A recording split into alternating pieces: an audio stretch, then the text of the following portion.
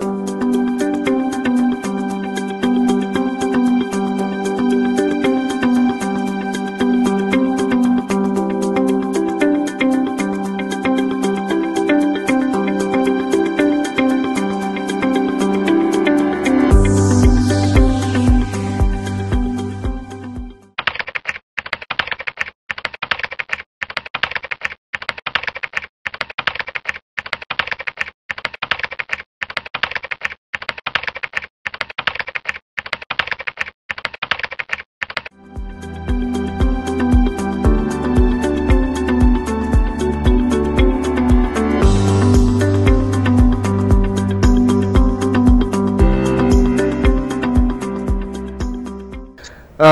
刚才这个根冈扎西先生就是讲到了，就是呃，西藏的政府、流亡政府和中央政府谈判的时候所提供的这个材料里面，主要讲的是西藏问题，而不是这里面主要讲的西藏问题，因为我们现在二零，我们现在别的不谈，七年的不谈，从二零零二年到二零一零年，一共九次接谈，达赖喇嘛代表跟北京中央政府之间的代表。那有一次的代表上，有一次的接谈上，当时的中央政府的代表就是那个朱维群，当时是时任中央统战部副部长副部长。对，他说：“你们一直在谈真正的自治，真正的自治，你们到底需要一个什么样的自治？可不可以提供过书面的资料？我们有了准备，就提供了全体藏人实施名副其实自治的意见书，这就是我们的称法。但是后来北京对于这个备忘录呢，他们的他们说这个不称建议书，他们说备忘录，就三个字，这里面谈的全部是西藏问题，而且这里面说民族区域自治法、民族地方自治法里面有这些条例，我们现在所要求的，就是要实现这些条例，其中一个最重要的一个部分就是所有藏人，我们希望在一个行政机构下来实施中央的政策。那现在西藏自治区，西藏自治区来管，甘孜藏族自治州、阿坝藏族自治州是由四川省来管，云南德钦藏族自治州是云南省来管，管辖不一样。虽然有自治政府，但是政策、自治条例都不一样。所以我们希望在一个行政机构下来管理西藏的自治。那北京认为这就是一个主权的概念。我们说这不是行政的概念，并不是主权的概念。所以他说大西藏，因为大西藏这个词儿不是我们造出来的，是北京造出来的。因为西藏就西藏嘛，对对对，哪哪有大的哪哪有哪有小的问题嘛？因为我同样是讲藏同样是虽然方言有一点不同，但是他讲的是我文字全部一样。所以刚刚你说那个汉汉人跟藏人之间有什么不同？我简单开玩笑是，汉人是吃米，藏人是吃脏话，这就是一个简单的说法。对，呃但是它最大的不同就是文化的不同，血缘的不同。所以能不能交朋友，当然能够交，因为今后还是邻居嘛，所以能交朋友。所以我汉藏交流的过程当中，我这个华人事务负责人，就是促进汉藏交朋友的一个平台嘛，当然可以啊。那交了很多朋友也。对，交了很多，今天在座的三位都是我们的朋友。那我我我就是问一个从不同的角度啊，就是在您看起来，或者是在西藏人看起来，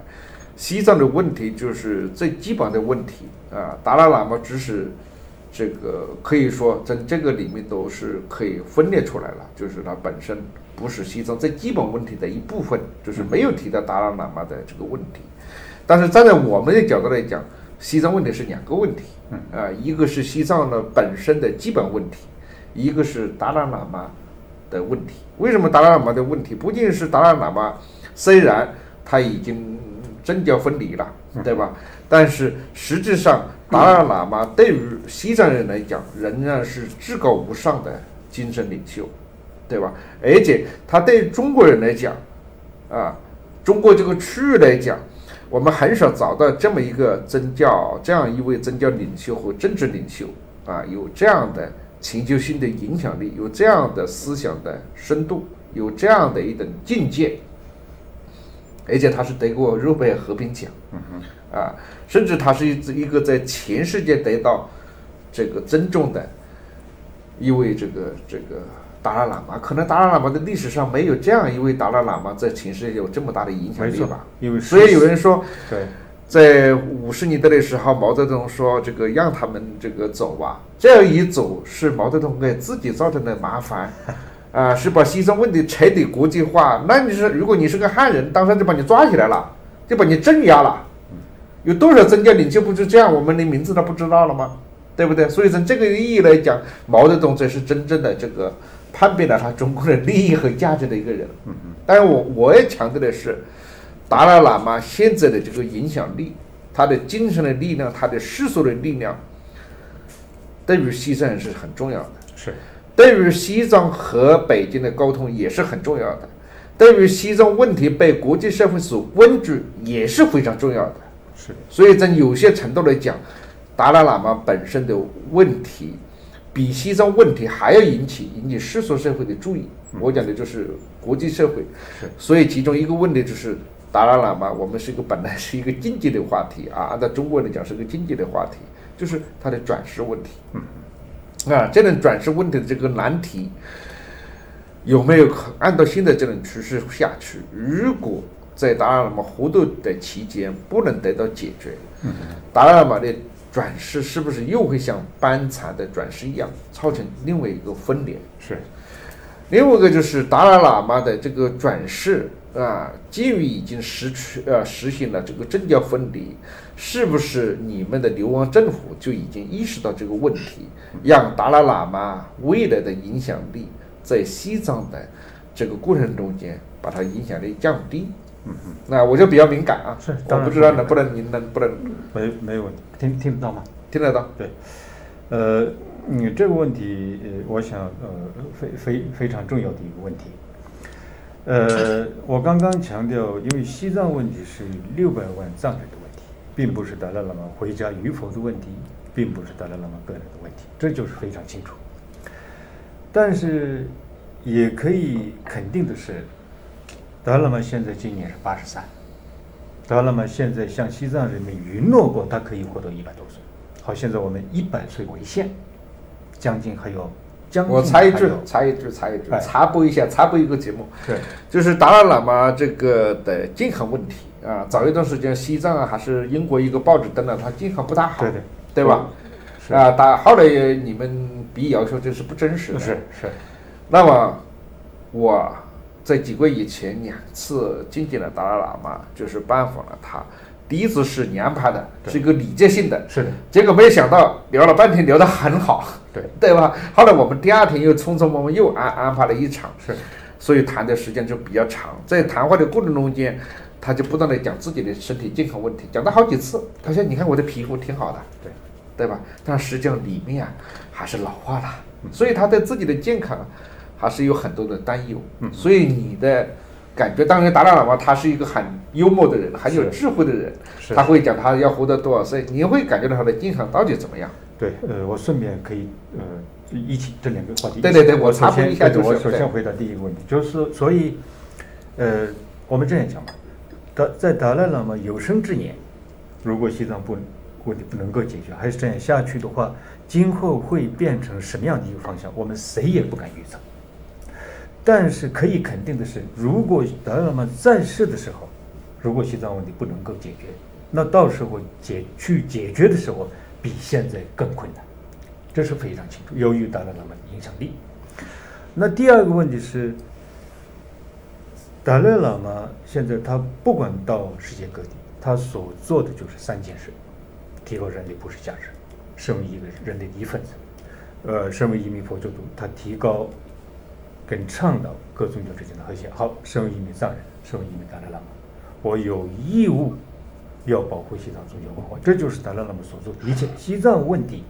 也包括在里面。所以，如果在有生之年不能够解决这个，今后对于解决西藏问题我们谁也不敢预测。这是第一个问题。那第二个问题，他的转世问题，这是很多人关心，尤其是北京方面非常关心，去比达赖喇嘛还急他们。所以关于转世问题，达赖喇嘛谁能够解决达赖喇嘛转世的问题？怎么怎么转世？呃，什么样的模式？用什么方式？完全是达赖喇嘛自己有权利才能够解决，才能够决定他的转世的问题。所以达赖喇嘛一直早早就六十年代就已经讲过，我需需不需要有十五世达赖喇嘛，取决于西藏人，取决于西藏人。这是他早就六十年的讲过。然后我们谈到转世问题，我建议各位要看一遍他的声明，就是关于达赖喇嘛转世问题的声明，二零一一年九月二十四日。这就是一个非常重要的历史文献，所以这个里面达赖喇嘛谈到了转世问题，谈得很详细。那归纳起来最重要的一部分，他说：“我现在快要到第一世达赖喇嘛的年龄的时候，我会讨论在流亡藏人社会中的各不同教派的领导，讨论今后的转世怎么来转世。那第一世达赖喇嘛是活到八十四，那今年是达赖喇嘛是八十三。”如果以这个时间点，那达赖喇嘛准备的那个快时间要快快要到了，所以我相信，今后的达赖喇嘛的转世呢，全部是由噶典破障政府在负责。噶典破障，噶典破障就是达赖喇嘛办公室，他的噶典破障是我们的藏语，但是我们现在用中文来讲的话，就是达赖喇嘛办公室。现在达赖喇嘛办公室跟藏人行政中央是已经分开了。所以在达赖喇嘛的转世问题上，那主要是由这个，呃，那个声明里面明确规定，全部由达赖喇嘛办公室在负责。如果万一出现一些政治势力、一些不当势力而寻找出一位灵童说是我转世的话，切记不要去相信这个问题，这是已经留下了非常明确的一个问题。现在是达赖喇嘛的转世问题，不只是藏人的问题，整个喜马拉雅一带跟随佛教徒的一个问题。所以在这个情况之下，北京一直在担心，那个周维群还不是说嘛，达赖喇嘛一定要转世，达赖喇嘛转世以后是达赖喇嘛自己决定的，因为周维群还有共产党是无神论者，那无神论者插手转世问题，这是怪怪的，对对不对？因为你必达达赖喇嘛还。他那个开玩笑说，如果北京那么关心转世问题，首先要找毛泽东的转世，邓小平的转世，然后再来找我。他是半玩半开玩笑的方式提过这些问题，所以转世问题是全部是由达赖喇嘛。这这是一个。那另外就是关于他的健康的问题，因为达赖喇嘛在几乎每年呢两次定期检查，以前一个是在印度，一个是在美国。每次定期检查，那定期检查之后，对于他的医疗团队说，达赖喇嘛的健康情形非常良好。但是现在也不是什么秘密了，现在最大的问题是，因为他是八十三，由于年龄的问题以及长期盘坐的问题，他现在膝盖呢，因为坐起来时候有一点困难，所以其他的部分他完全没有问题。诚如和平先生所说的，最近达赖喇嘛接接受访客的时候，他说：“你看我的嘴唇是红红的，皮肤是白白的，表示我的内脏是没有问题，我还要活二十或者二十五年。”因为这倒不是开玩笑，所以在这个情况之下，今后会不会有两个达赖喇嘛？所以这就是一个大问题。如果现在这个局面继续下去的话，我相信，如果我们估计没有错的话，一定会有两个达赖。好，有有两个达赖喇嘛对北京有任何好处吗？没有任何好处，因为转世这个问题是前世没有能够完成的工作，来继续推动的，就是一个正确无误的转世。那如果北京这么关心达赖喇嘛的转世问题，首先要必须要改变达赖喇嘛现在定性为分裂主义头目。你那么关心十五世达赖，你需要一个再需要一个分裂主义的头目吗？这就是一个问题，所以转世问题，呃，不必担心，完全要达赖喇嘛自己来管。那如果今后有所谓的双胞胎，那对北京没有任何。现在的那个班禅喇嘛，达赖喇嘛认定的从一九九五年的七五月十七号开始下落不明，北京认定的依然存在，但是西藏老百姓、佛教徒对他有什么样的评价，我们非常清楚，而且他自己，我相信也很困难。所以我个人呢，对北京认定的那个班臣没有任何恶意，因为他毕竟也是一个藏人。如果北按照北京所说的，他现在在一个很好的经师下面学习佛法，我非常欢迎。因为一个藏人能够成为一个学者，反而值得我们高兴的事情，因为他毕竟是藏人。这是您插话的我我回应的部分。OK，谢谢。我们今天已经快两个小时了，哎，已经两个小时了。所以我们现在要进入最好的阶段，最好的阶段还是少批判，带一点希望啊。批判我们已经做过多了，我们就带一点什么希望呢？就是在现在的政治框架之下，假如民主化也不能实现啊，或者是还遥遥不可及，那么在现在的政治框架之下，西藏的问题是更严重了。有一些方面我们很清楚，就是在西藏的打压方面，我们已经看到了，在这个这个藏区有很多这样的报道出来，对吧？控制更严，但是另一方面呢，确实露出了一些曙光，而且有一些事情，就是说，它就可能会突然产生。为什么会突然产生？因为西藏问题已经成为了啊中国的政府的国际形象的很关键的一个部分。而西藏问题的解决所付出的成本，相对于其他问题的解决的成本，其实要低很多，其实要低很多。啊，我这个判断也许是对和错啊，就是站在我对党的理解啊，站在习近平要建立他的国际形象，因为习近平现在是做了很多事儿，得罪了很多人，在很多的区域里面，很多的你你呃这个这个群体里面可以说是名声很糟糕。像我在海外少有几句还讲一讲，对习近平不要放弃希望，我都被骂得不得了，认为整天是为习主席洗地啊，所以很多人啊根本就不愿意看我的节目，也不愿意我的文章，就是说你就是被习近平洗地的。但是我的问题是，在现在的这种政治框架之下，我们应该把民主化作为我们的伟大目标，没有问题，也可以为民主化去努力，也没有问题，给中共施压也没有问题。但是与此同时，也不要放弃一点希望，去敦促和推动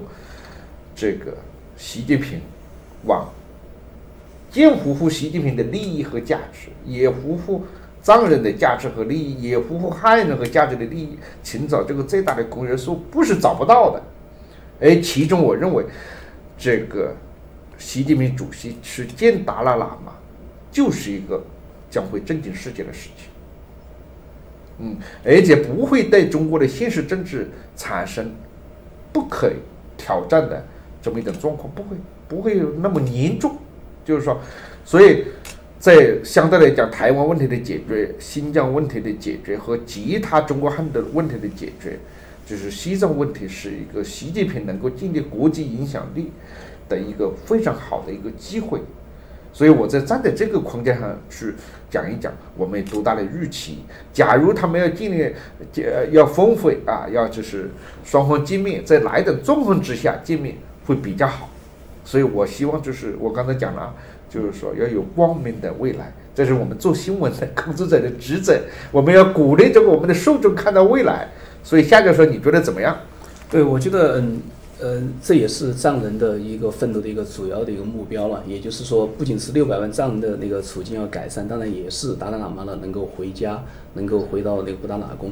那么我觉得呢，就说首先呢，呃，中国政府呢，就像你刚才说的，是一个最低代价的，又可以产生最大效果的，因为它毕竟对现存的中共的权力秩序了不会带来就是太大的一个冲击。呃，但是呢，我觉得第一个事情他要做的就是不能再那个就是把呃整个系统问题变得更坏。不能去恶化。那么其中呢，我觉得就是说，整个呃中国政府、共产党，包括我们华人的这个普遍的一个就是思呃思维了，对就是藏民族呢有一个了解不深，就在于刚才那个呃贡嘎那个扎西先生给我们讲到呃藏巴跟大米的区别了，呃但是呢，其实最根本的区别还是就是藏民族呢是由佛教了来的一个就是整个就是界定的。所以呢，他们呢对达赖喇嘛呢是一个宗教领袖。那么而那个达兰萨呢，这次我去了，呃，我也见到达赖喇嘛两次。那么我可以说，达赖喇嘛的身体呢确实非常好。我听他在那儿呃演讲谈那个中间到了一个多小时，那个就是确实那个呃整个他的那个体力，他的那个呃底气，他的这个体态语言，他的思维敏捷。那么确确实实我就感觉到非常的高兴，就是达拉喇嘛的身体呢确实是非常的好。那么，如果我们大家认识到，就说，呃，藏人，呃，这是告诉我，就说，呃，达兰萨拉是我们的圣城，我一下就就一下就在思考这个问题。那么就是说，因为，呃，那个洛桑桑格就是施政呢，他就告诉我说，我们藏人的话是我们的宗教领袖在哪儿，我们的中心就在哪儿。所以你想想，这个就是里边的那个几个关系，就整个藏传佛教对藏人的重要性，他们的宗教领袖对他们的重要性。然后现在达赖喇嘛，呃，那个，呃，呃，在那个就是达兰萨拉，而他们其实最终的圣城，那么是拉萨。那么所以呢，如何呢，在这种问题上呢，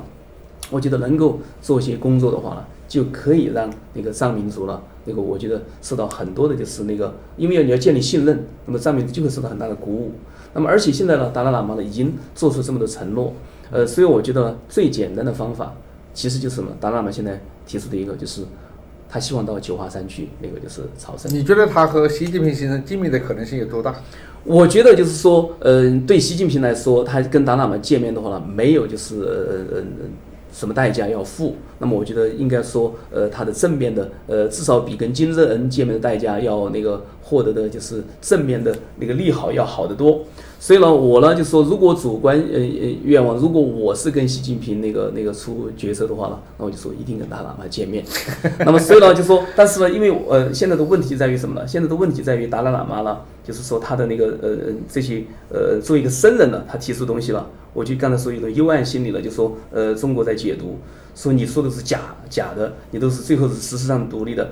他对一个比丘的这些话，如果都是老是怀疑他的那个就是真诚性的话了，对我我觉得这个问题必须用大智慧啊，我们用个大字，中国人喜欢大嘛，对不对？超越官僚体制本身才能解决这个问题。如果西藏的问题又是通过什么统战部啦、民族委员会啦，一条一条官僚下去，你就没得玩。通过西藏，你必须直接由达赖喇嘛真正和习近平主席。他们直接去解决所有的原来官僚体系不能解决的问题，而不是纠结于官僚体制本身。张博士教授，你觉得怎么样？我比较悲观啊，你比较悲观，悲观就算了，别讲。对的，对的啊，我还是要说一说，你不能剥夺我的发言权。呃，我记得二零一四年那次也是贡嘎先生安排的，我去达赖萨拉。和之前在二零一零年在啊，那更早了，那是二零二二零零九年，对对，哎，那更早。这是以后博树先生开除社科院的其中原因之一啊，最后一根稻草吧，对，最后一根稻草。开除的好啊，不把你开除了，我们还不能在一起。你瞧你瞧啊，好啊，咱们书归正传。我二零一四年去这个达赖萨拉的时候，和达赖喇嘛谈了很长时间。啊，当时给我的感觉的话呢，达赖喇嘛很。很有期待，希望习近平能够有所变化啊，呃，我我当时我就不太乐观，哎，但是我还是觉得话呢，鉴于现在这个中国的情况，也鉴于我们海外藏人的情况，我总觉得话呢，如果这个达赖喇嘛能够和能够回到回到回到中国啊，能够回到西藏是吧？或者至少的话呢，能够呃打开这方面的僵局是吧？是不是和习近平见面？我们当时倒没谈到。是吧？我只是说的话呢，如果你能回去，呃，这当然是好事，是吧？呃，特别我也知道的话呢，达赖喇嘛这个中间政策、中间道路的政策，其实在海外藏人团体的内部也是有很大压力的，啊，就像刚才这个贡嘎先生谈到的，呃，二零零八年到零九年九次接谈，啊，最后没有结果，这件事儿的话呢，在海外藏人内部是有争议的，啊，觉得你这个中间道路到底有没有希望，是吧？达赖喇嘛本人的话呢，我相信也承受了很大压力啊，尽管他威望非常之高，哎，所以我当时就讲的话，如果你能够回去，是吧？对于缓解是吧，许多许许多多方面的东西，这这会有好处啊，而且特别还是考虑到，呃，达赖喇嘛总有一天嘛，总要圆寂嘛，这是一个呃未来的一个一个一个一个一个事情，是吧？啊，假如说能够在达赖喇嘛健在的时候和北京方面建立起某种沟通或者对话的机制。啊，那对于解决这个中国境内的藏人问题也好，对于解决海外的流亡藏人也好，这都会有很大的帮助啊。所以我当时甚至给达赖喇嘛建议，我说你这个中间道路啊，还可以再放低一点，是吧？这个名副其实的自治当然是一个争取的目标啊，但是目前的话呢，有没有可能找到更让北京能够接受的一些东西？我来先跟你谈啊。用刚才夏明教授的说法呢，就是我们分成几步，是吧？先找那个大家最容易达成共识的、最有可能接受的那个东西来谈，是吧？啊，后来这个达赖喇嘛好像还乐了一下，说说你这个你这个是有点中间道路的中间道路了。这是一个方面啊，就是说的话呢，在这个意义上面啊，我觉得我也好，夏梅教授也好，还有这个倪老兄也好，是吧？像刚才所谈到这个意思，但这都是还是希望能够促成这个汉藏之间的这种双边的接触和对话，能够希望这样子。但是为什么我刚才说我比较悲观呢？悲观就算了，别讲了。我谈的是习近平，我也知道你还是一直还是在在给习近平再给他鼓劲儿，是吧？我也不是给他哎，希望他往前走我的。意思是找不到其他办法。我也我也希望他往前走，但是到目前为止，我是没有看到这方面的任何迹象。其实就算是我说他这个体制也不动啊，他的勃勃雄心，我们也不去打击他，是吧？他还愿意向世界上有有更大影响啊，他还要走向什么世界舞台中央，是吧？我们都从善意的角度去理解他。西藏 OK 就把“一带一路”也打通了。OK，你把西藏问题解决好了，让西藏这个地方的话呢，不再成为中国这个红色帝国崛起当中一个最致命的软肋，那么情况不就好多了吗？是吧？西藏的问题如果好了，新疆的问题就会迎迎刃而解，或者至少为解决新疆问题会打开一个渠道，啊，会开辟一个道路，是吧？实际上，我相信习近平现在在中南海，大概最让他挠心的问题之一就是新疆问题、西藏问题。特别是新疆问题，是吧？这我们看得出来的，啊？那你要想让你的后院让它稳当一点儿，是吧？哎，让你这个中国梦做得更踏实一点儿，是吧？你也要解决西藏问题，也要解决民族问题。而在这方面的话呢，和达赖喇嘛沟通，这当然是最佳的捷径。嗯，所以你还是比较乐观嘛。但是问题是，不要我没看出来习近平在这方面有认识，所以我觉得有这个。博博士先生讲这个话的时候，我想到一句话：嗯，前美国总统克林顿访问北京，当时在北京举行一个克林顿跟江泽民联合记者会，突然江泽民提出了关于西藏问题，他说我不知道那个为什么那么多的西方人，为什么他用的词儿是他为什么那么多的西方人，为什么那么重视喇嘛教，就是指的是西藏文化。那当时克林顿他快要结束那个的记者会的时候，克林顿说我也要讲一句话，就说我希望你跟达赖喇嘛见个面，你才发现他是一个真正的好人。嗯李江想到这句话。李江林女士，你怎么样？你乐观吗？你对他们这个一一一一个问题是达赖喇嘛回到中国去或者去中国啊，有没有你觉得有多大的希望？第二个是他们两个人见面的可能性跟习近平主席见面的可能性有多大？这个呃，历史学家不会去呃，呃 我们搞历史的目的是要看未来嘛。但是呢，就根据我刚才给你看的这两这两本书里面对于这个中共对民中国民族问题的这种思路，我不认为我没有没有给我任何理由抱有乐观希望。在这点上，我跟不是想法差不太多。但是还有一点，我跟他不同的一点就是，你不能把这些问题都看成是达赖喇嘛的问题，那是习近平的问题。我认为，如果你任何时候习近平发出邀请，我我绝对不认不不认为达赖喇嘛会说 no。所以呢，我们不应该说达赖喇嘛应该去见，而是习近平什么时候发出邀请的问题。你 push 的是他，所以这不是说达赖喇嘛放低身段，习近平就会就会也会放低身段，这这是两个不同的问题。所以这个问题的关键点不是在藏人，不是在达赖喇嘛，而是在习近平，是在中国。所以中央中国政府怎么面对这个问题，他们有没有这个智慧？他们去看这个。我曾经在香港的有一次讲座中，我出示一张现在的一九四九年之后的西藏地图。西藏如果我们都说啊，不是我说的是现在现呃当下的中国地图。如果你说中国是一只鸡，你说它公鸡也好，母鸡也好，反正是一只鸡。西藏是什么位置啊？是在它的腹部，如果你的腹部一直在不稳定的状态，你这只鸡能够稳定吗？你肯定不停的在跳。嗯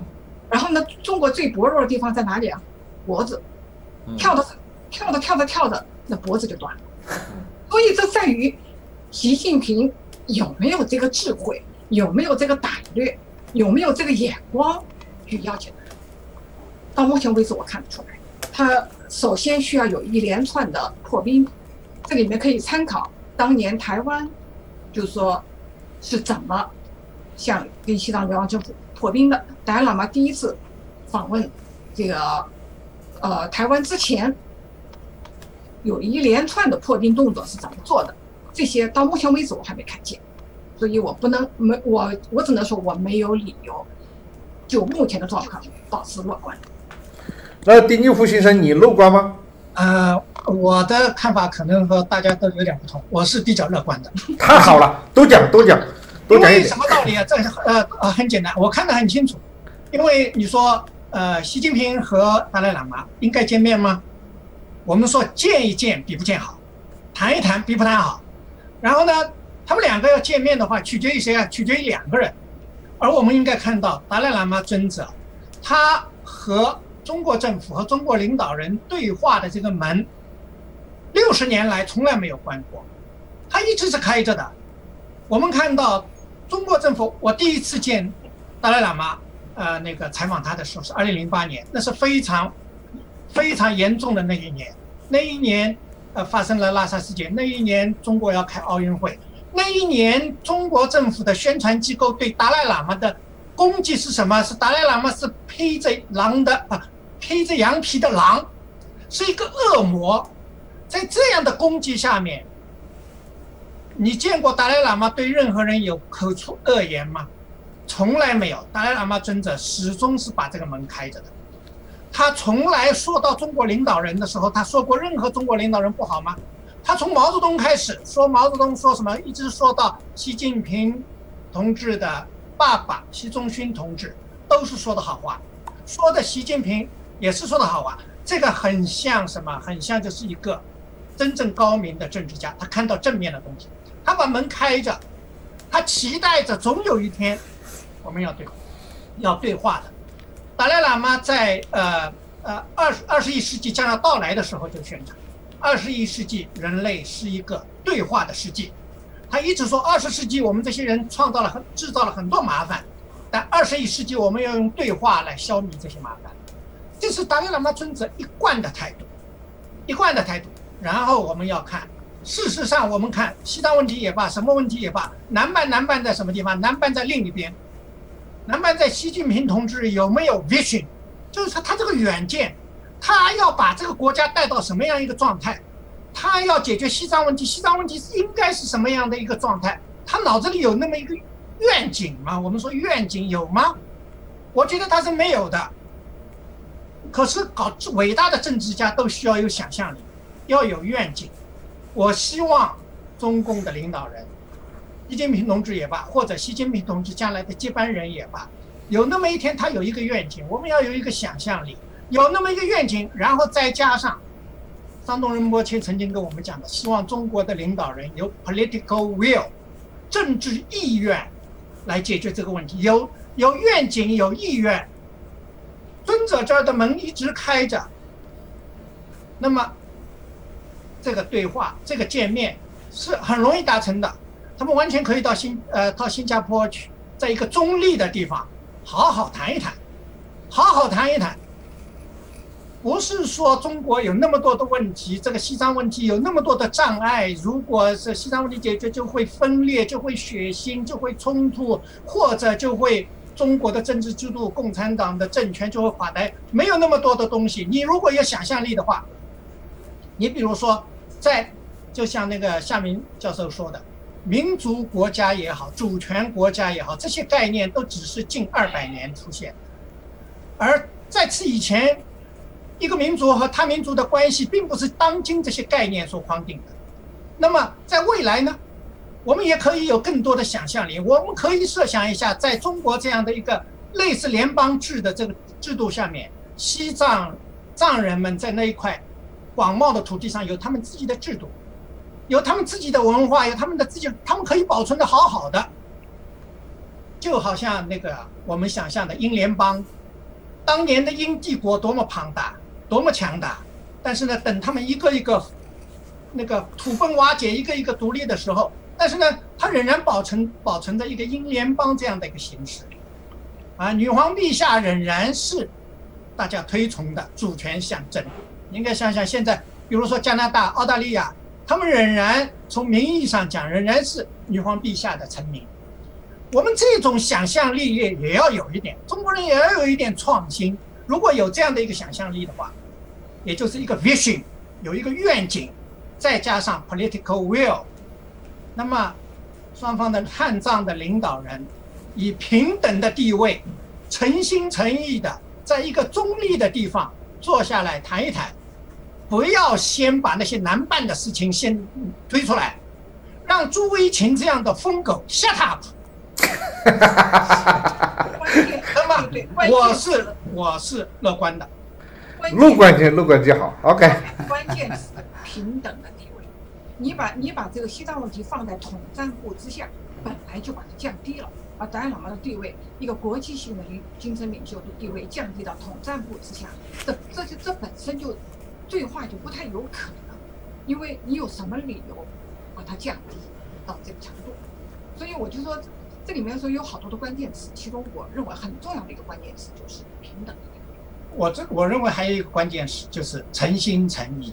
嗯，不要用一个什么呃，我们来一个《三国演义》里头，我来一个计计谋，啊，我让你进一步，我然然后来一个再反过来什么什么，三十六计不要使，真的是个僧侣 啊对，谢谢谢谢。那个技术明先生其实是带来了更多的这个乐观的现实的信息。季先生在吗？那个在在在，哎，很抱歉啊，这么晚了，这个你那边是凌晨这个快二十分，就是这个这个呃一点了，快快快一点钟了。呃，。所以你能不能给我们带来更振奋的消息？明明天早上我还要出差，那啊个我先先讲一个观点啊，尽管那个龚嘎先生猛烈的批判我，但是我在想，刚刚和平先生你讲解决西藏问题，解决西藏问题，什么叫解决西藏问题？解决西藏问题从哪里开始？其实还是要从达赖喇嘛开始。解那个达赖喇嘛的这个很，中共对达赖喇嘛态度就也是体现在对西藏问题的态度，对达赖喇嘛有诚意，对解决西藏问题才会有诚意。所以我是觉得，对呃达赖喇嘛才是一个重重要的关键的一个领袖的人。当初我跟统战部就说，你们有诚意和达赖喇嘛代表的那个对话对谈，为什么老是在在北京，在中国大陆带他们去游山玩水？为什么你们不能去达赖萨拉呢？甚至于直接跟达赖喇嘛谈呢？不不一定要跟代表谈嘛，对吧？但是这个就实际上说明他们本身就没有谈的这种意愿，没有谈的这种想法。那么这个里边我碰到一件事情，什么事情呢？就二零零八年，我那个时候是第三次，三月二十八号西藏那个暴乱以后，去访问达赖喇嘛。那个在访问达赖喇嘛的这个过程当中，最后达赖喇嘛跟我讲讲一句话，给我很大的触动。他说：“我的心情很糟糟糕，西藏死了这么多人，跟五十年前一样，我很难受。但是五十年前，我要向一个汉人诉讼我心中的这种难受和我要表达我的意思，我找不到一个汉人。给毛泽东写过两封信，他都没有回复。尽管五四年的时候在中南海，他拍拍我的肩膀，碰到任何的问题，你给我写信，我一定给你回复。但是在那个时候，他一直没有他的回复。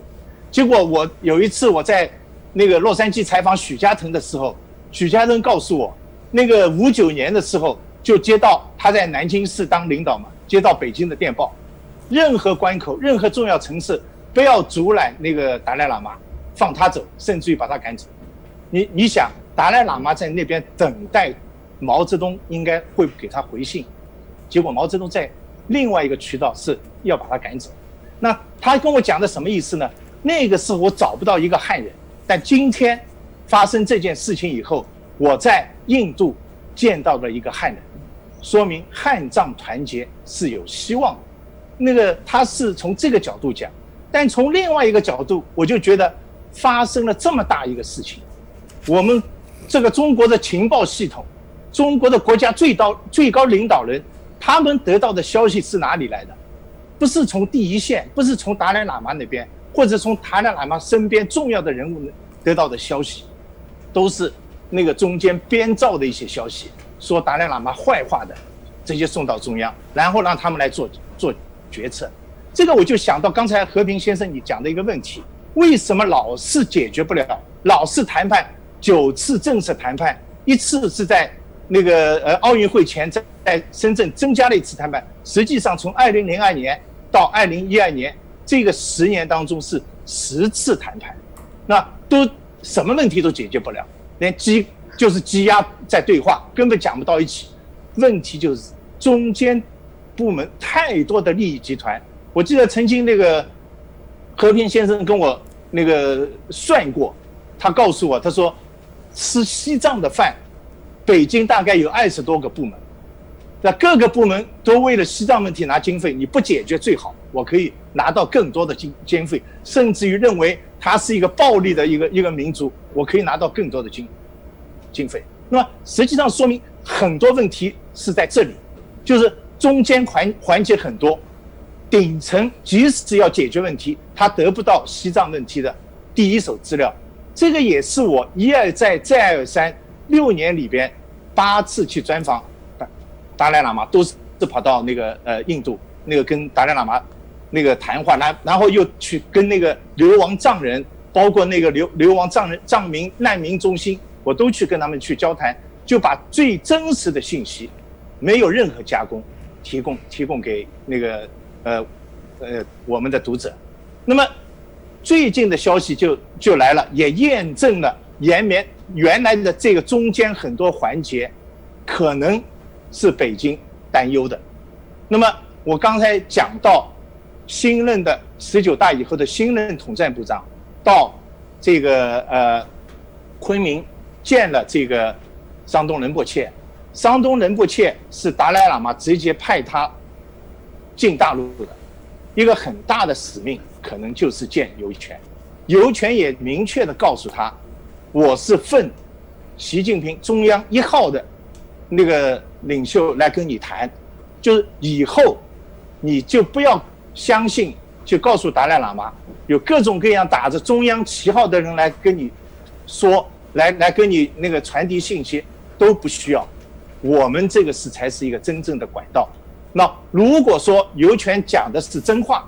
那我就相信是有人授权他这么讲，那而且呢，也跟他说，北京希望解决西藏问题，那么但是呢，也让他们耐心的等一等。那个因为现在要处理的问题太多，那么这次见实际上是释放一种信息。那么这个那个。是发生在二零一七年的十一月份，那我记得，二零一七年十一月二十三号，达赖喇嘛在公开场合就讲，他想要回中国的这个这个呃回家的这个意愿。那其实这种回家的意愿，我认为也是达赖喇嘛不仅不是他个人要回去，是他希望通过这样的渠道来解决那个呃他所认为的或者藏人。需要解决的那个西藏问题，在以后到十二月一号，那个我不记得是呃十一月二三三十号还是十二月一号，奥巴马那段时间非常非常的活跃，他先飞到了北京，见了习近平，大概就停留了一天时间，马上就飞到了十二月一号是飞到了德里，新德里见了那个达赖喇嘛。那是没有任何的消息说他此行在穿针引线，但是我们看这个环境证据，这这么一个状况，就是我自己个人相信他在做一个信使或者桥梁的这个角色，然后那个我们也看到了中美的这个这么一个一个纷争这么一个状况，那么今年是这么多年来达赖喇嘛唯一第一年，他是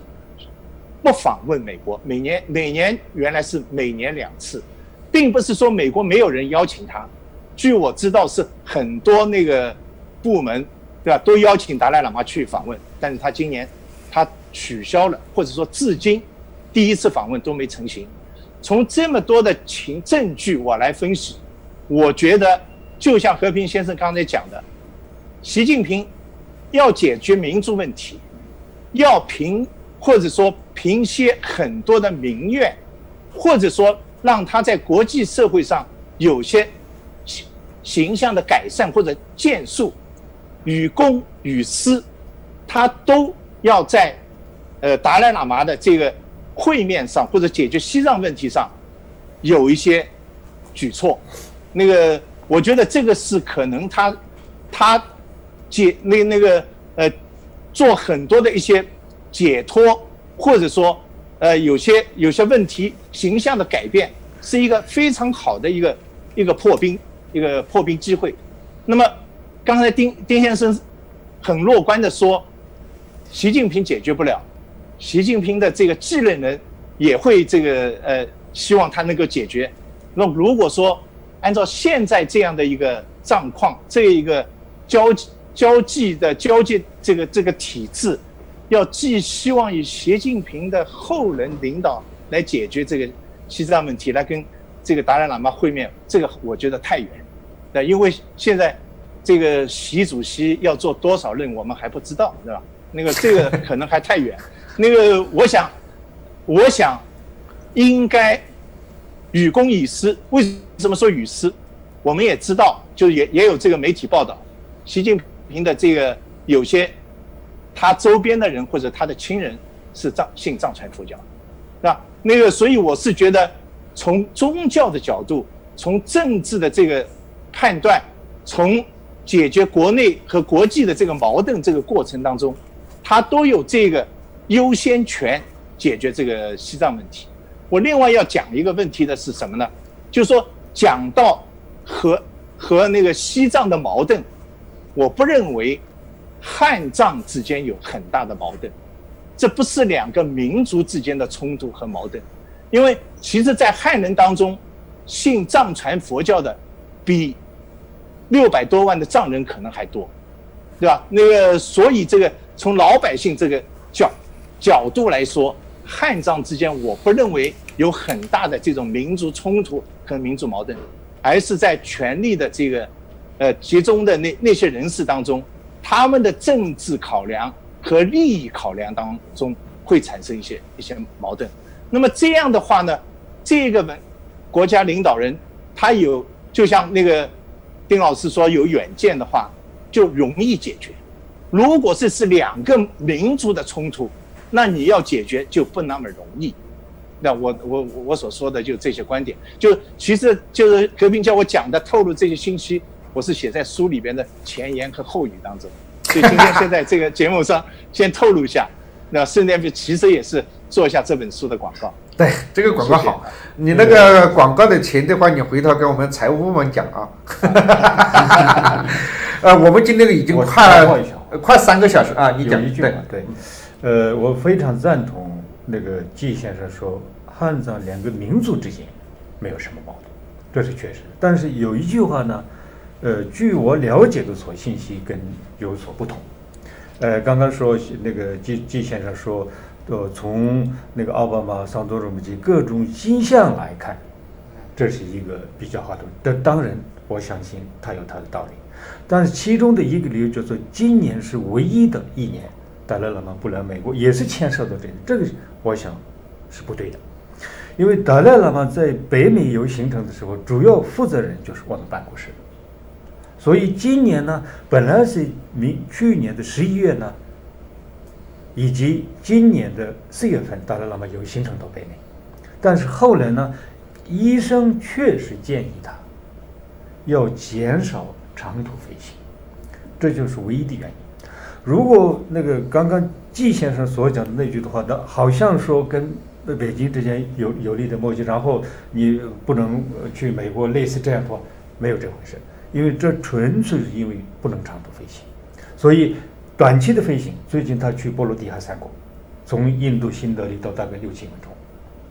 波罗的海，以后他如果到北美的话，我们真的是希望他在欧洲访问的时候，比如说从德国法兰克福转机到这边大概七八个小时，也是有可能的。所以今年的不来，不是因为这个话题是在呃结合在一起的。嗯，这是我想哦，出了了很重要的消息。是是是，当然还有另外的可能性啊是，这就是跟你们的官方立场不太一样了啊，就是传说是媒体有时候是瞎插的啊，嗯就是跟现在的呃这个总统的某一些政策啊，跟达赖喇嘛和诺贝尔和平奖的很多得主是有一些他们有一些差别的指的是我们的川普总总统。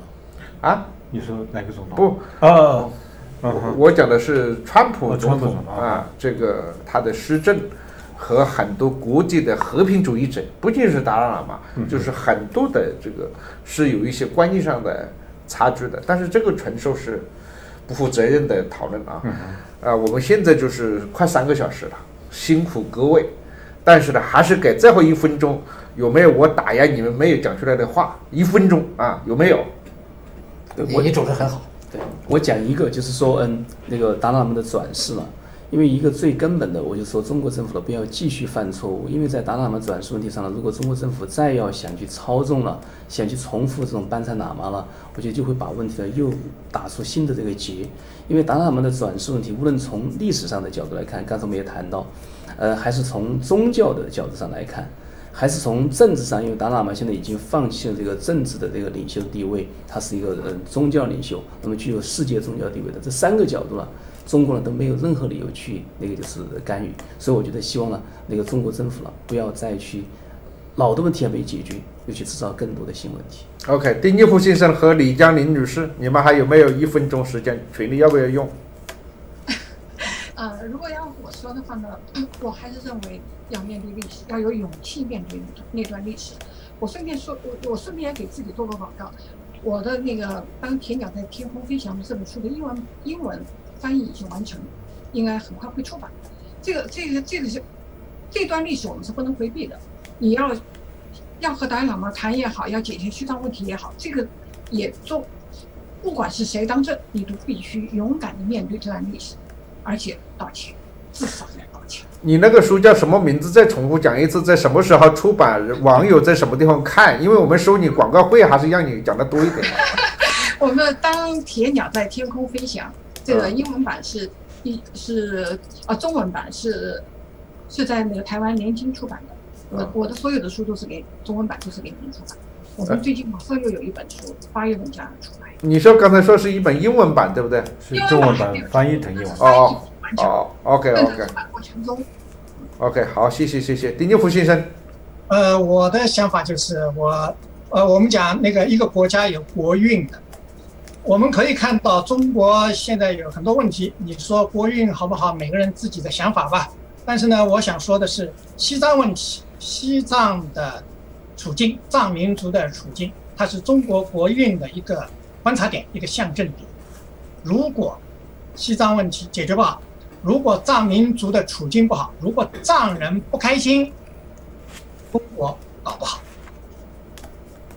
好，谢谢。您有没有一分钟？呃你，还是要用是吧？。对对，这个我想接他的。那你先先接吧，你先接吧。啊我先说，OK，我接着老丁说一句啊，就是